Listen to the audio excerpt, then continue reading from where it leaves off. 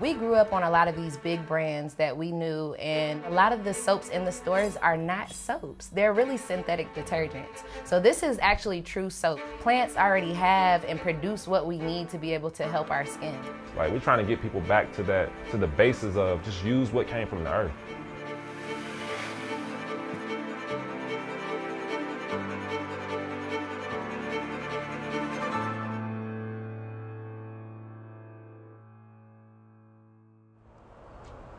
I really feel like this place was the mindset shift. This was this place where like we learned how to produce.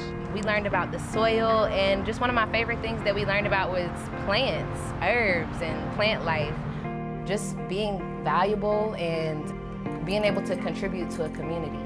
And uh, I wanted to learn something and soap making just felt right when I did it. It smells so good, like really good. So some of those same herbs that we learned about on the farm, we actually use in our products today. So we are actually at, this is my mom's house, my mom and dad's house. Uh, this is where I uh, grew up and this is where we produced it. So as you can see, Taryn is in the back doing what she do best. Hey y'all, what's up? It's Taryn from Urban Eden. Just wanted to tell y'all about the giveaway that we're having since it's January 1st, 2017. So like we had like all our racks here and the oil tank, yeah, oil tank the was oil there. tank was right here. They saw every step of the way. So when they see us now, when we get even bigger, they're gonna remember like they had humble beginnings.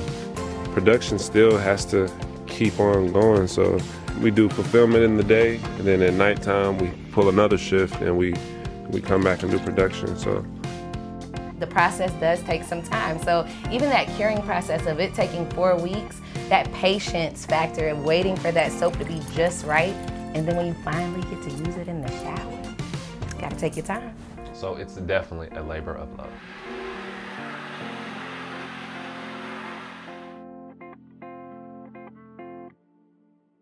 We get a lot of questions about whether or not our soaps can help with various skin conditions like acne, eczema, psoriasis, hyperpigmentation, ailments that hinder the skin. That's actually why we choose to use essential oils because a lot of them have benefits like antibacterial properties, antiviral properties, antifungal properties.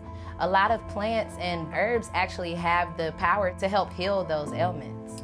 Skin is your largest organ. So with your skin being your largest organ, I mean, it takes in everything. So you definitely want to be cognizant of not only what you put in your body, but what you put on your body. We just try to make products that help to maintain healthy skin, help to uh, give you a natural glow, and just have you feeling good about yourself.